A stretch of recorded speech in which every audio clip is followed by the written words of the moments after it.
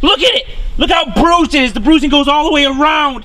I'm Houston Jones, the world's strongest bodybuilder, and my life goal is to prove I'm the toughest man alive. In today's episode, I'm testing out the Stinger Tactical Whip against my iron body. This idea has been so highly suggested that Stinger themselves decided to sponsor this video to find out if their whip can survive contact with me, Houston Jones. For those of you that don't know, the Stinger Tactical Whip is an easy to use emergency tool that is relatively non-lethal. While the whip can provide a great deterrence, it's also a lot of fun to just smash stuff with it on Saturday with your boys. It's without a doubt the coolest tactical whip on the market, and if you don't own one, you are missing out. So stop missing out and click the link in the description to get 10% off when you buy yourself a Stinger Tactical Whip. Every whip you buy directly helps support the channel, so, you know, buy a million of them.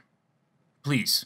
Now today's experiment will be broken up into two stages. Stage 1 will involve testing the whip on random objects, which will show the power of the whip against things that represent your average mortal man. Stage 2 will involve testing the whip against my rock hard body, and if any damage occurs, it'll be inspected immediately after, and then once again, two days later. So to start the non-human trials, we gotta smash some stuff that aren't me, because I can't be smashed. So I wanna show you guys all what happens when the Stinger Whip is hitting something that isn't world's strongest thing in the world. First melon is the pineapple. It's a juicy one, so let's see what happens. Try it again. Ah, another one.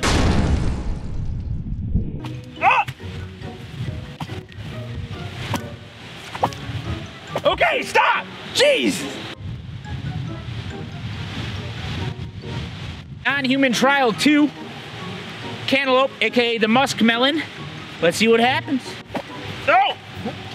You, of course you miss it! Why are you miss it? It's a stationary object! No! it hurts. You scalp. What, what hurts? Comes back and hits me. Oh, I'm sorry, it hurts you. We're on to the watermelon, the juiciest of melons. I would say this is the most like the average human, watery and weak. Put your back into it, Weston. Try. Oh! Okay, it's enough putting your back into it. This is what the average human would look like. Not good, right? So here's the last of the soil-based grown objects. We got an old squash right here, and this is, this puppy's hard as stone. Not as hard as Houston Jones, but hard as a stone. So probably one of the closest things you would get to me. Let's see what happens. Uh, uh, uh,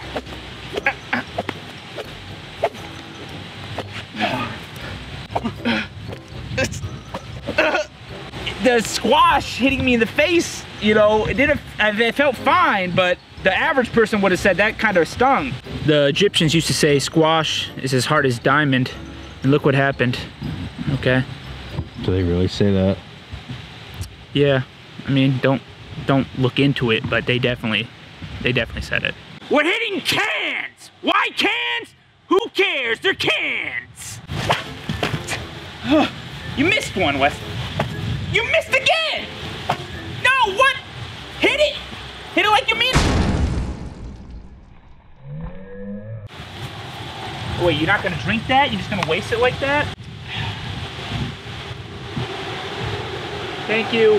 Now, I'm not sure what's about to happen, but there's one thing I know for sure, and it's that I won't react in pain when the whip hits my calf here. And when I don't react in pain, you all have to like the video.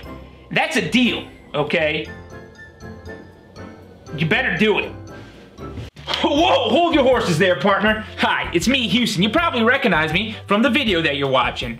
Anyways, it's very important that I remind you all to not try what you're about to see in this video at home or literally anywhere because we are trained professionals and this video is for educational purposes only. Well, that's it for me. Have a good one, guys. Try again.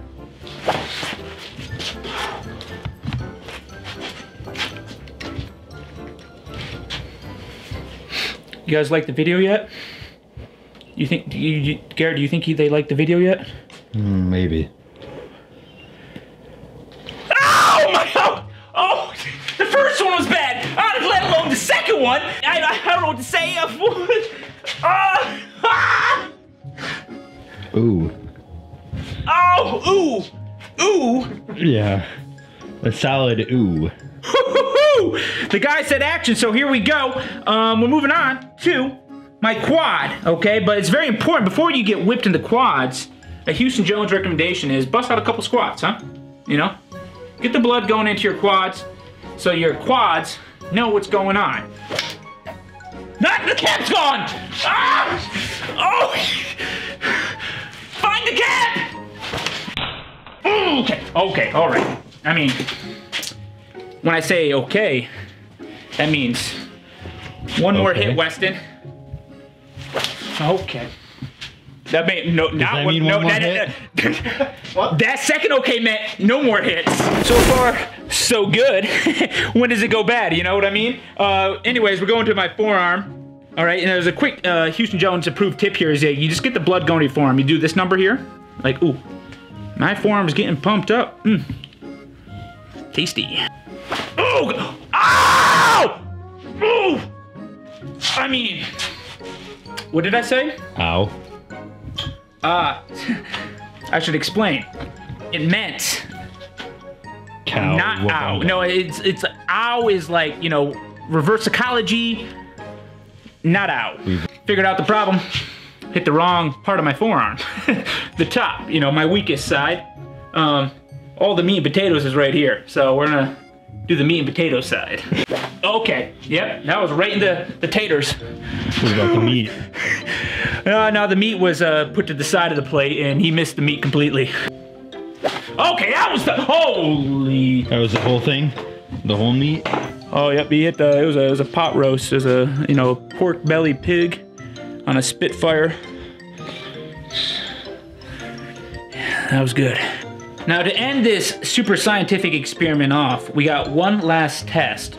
What happens when you get hit with a shirt on, and what happens when you get a shirt off? What's worse? Is there a difference? I don't know because I've only been hit on the skin so far, so um, we're literally learning this together. All right, now I'm clearly ready to go. We're gonna start with the shirt side first. I'm gonna hit that side of my body. Let's see what happens.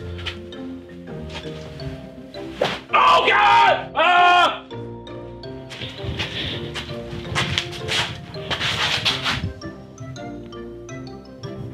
Oh.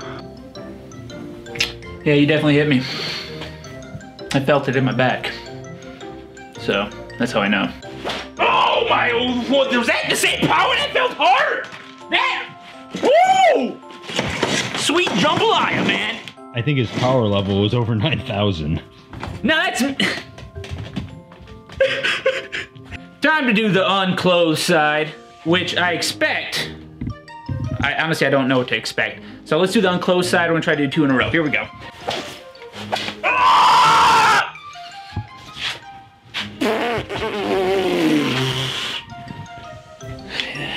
Well, if I was to expect something, that'd be about it. Wow! something just happened. Let's check out the damage. Going to my calf first, where I got hit. As you can see, you can see something. Um, you know, some marks, I suppose, is what you would call them. Don't really get marks that often, but you know, there they are. And then BAM! My quad, my glorious quad. You can see the cap. Like, look at, that's the cap. Or end of the whip. Whew. And then my arm! Hit me on the top. And then those marks there, you know, it's like maybe road rash, I don't know. And then my back. We got closed side here, then non-closed wherever this is. I can't see it because it's my back. So is it really there? I don't know.